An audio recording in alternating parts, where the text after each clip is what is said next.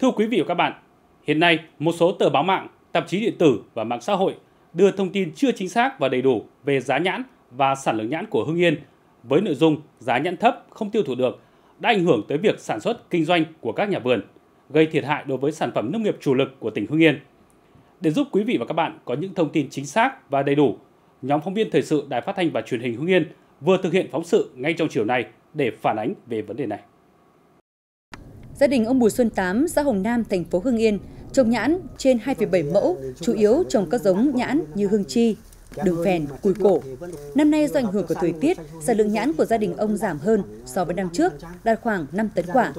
Do áp dụng các biện pháp kỹ thuật và thâm canh, thực hiện việc chăm sóc theo đúng tiêu chuẩn Việt Gáp, nên nhãn của gia đình ông luôn có chất lượng tốt, chiếm được cảm tình của người mua thương lái khắp nơi đến đặt mua, giá bán vẫn ổn định, dao động từ 35 đến 100 nghìn đồng một kg. Nhãn cùi cổ và nhãn đường phèn thì chúng tôi còn bán giá cao hơn năm 2022. Hiện nay là giá nhãn cùi cổ và nhãn đường phèn là bán 100 nghìn đồng một cân, không đủ cung cấp ra thị trường. Và nhãn hương chi thì chúng tôi vẫn bán ở ổn định là cái giá 35 nghìn một cân là nhãn hàng quà. Gia đình tôi thì đầu vụ đến giờ là tiếp được khoảng 50 đoàn khách. Các tỉnh bạn từ Hà Nội, Hải Phòng, Quảng Ninh, Lạng Sơn về mua. Nhãn Hưng Yên từ trước đến nay thì đã có tiếng là thơm ngon ngọt và gọi là quả tiến vua từ xưa đến nay rồi. Hàng năm đến mùa chúng tôi đặt ờ, làm quà. Tuy nhiên thì cái mức giá thì nó dao động theo đầu mùa hoặc là cuối mùa và tùy từng loại khác nhau. Có những loại thì thường như chúng tôi đặt loại ngon mà nhãn sớm hoặc là đặc sản một chút thì nó dao động khoảng trên dưới 100 một kg.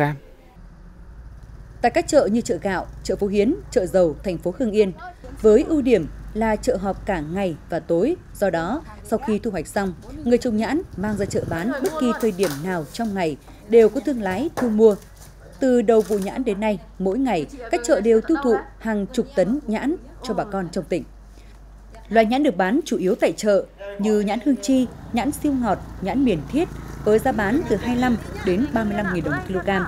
Nhãn được xuất bán đi khắp siêu thị và thị trường như Hà Nội, Hải Phòng, thành phố Hồ Chí Minh. Nhãn ở Hưng Yên thì vẫn là ngon nhất thôi.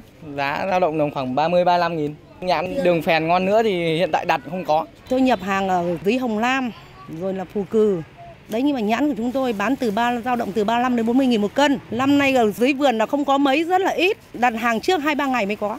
Mỗi một ngày là đóng đi là xuất đi vào trong Sài Gòn là cứ tầm 2 tấn 7 cho đến 3 tấn. Và bán là dao động từ 35 nghìn trở lên. Năm ngoái thì như thế này tại gốc cây là có 26 thôi.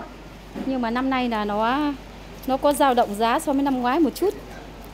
Vì là năm nay là nó mất mùa. Đây, nhãn rất là đẹp luôn.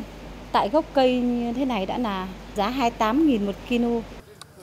Toàn tỉnh hiện có 4.800 ha nhãn, trong đó 4.300 ha đang cho thu hoạch với sản lượng gần 40.000 tấn. Trong đó có gần 1.500 ha được sản xuất theo tiêu chuẩn Việt Gáp, tập trung nhiều ở huyện Quái Châu và thành phố Hưng Yên. Năm nay do ảnh hưởng của thời tiết, thời điểm cây nhãn nở hoa có nhiều ngày mưa nên tỷ lệ đậu quả thấp hơn so với năm trước. Hiện nay, các nhà vườn đang tập trung với công việc bẻ nhãn và đóng hàng để bán. Trong chương trình thời sự ngày mai, chúng tôi sẽ có chuyên đề chuyên sâu về giá cả và thị trường tiêu thụ nhãn của tỉnh Hưng Yên. Kính mời quý vị và các bạn chú ý theo dõi.